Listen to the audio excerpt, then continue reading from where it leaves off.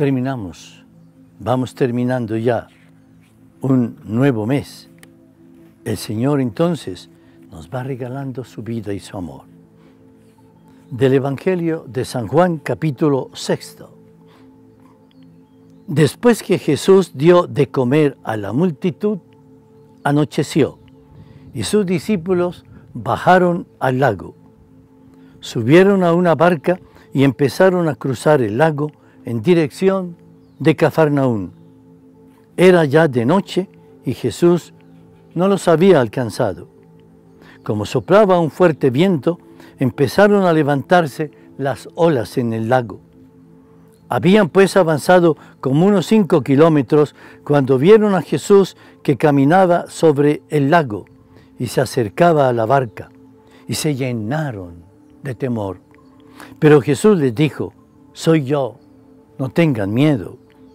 Quisieron hacerlo subir a la barca, pero enseguida la barca tocó tierra en el lugar a donde iban. Palabra del Señor.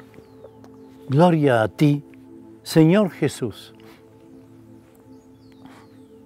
Un comentador y escritor de los Evangelios, Alejandro Pronsato, nos dice en uno de sus apartes, en sus apariciones, después de la resurrección, el Señor Jesús no hace sino reprender a sus discípulos porque son necios, tardos, lentos y temerosos.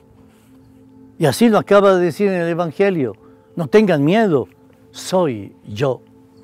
Es lo mismo que nos dice el Señor, que no nos tenga que reprender porque seamos tardos para creer, para amar, para servir, para abrirle nuestra vida al Señor.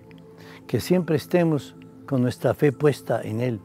Que siempre creamos en que su resurrección es para nosotros definitivamente un camino nuevo a la vida. Es realmente una luz que no se marchita.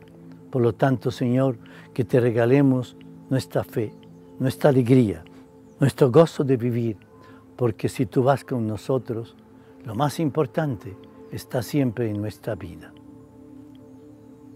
Nos bendiga el Señor en el nombre del Padre y del Hijo y del Espíritu Santo. Amén.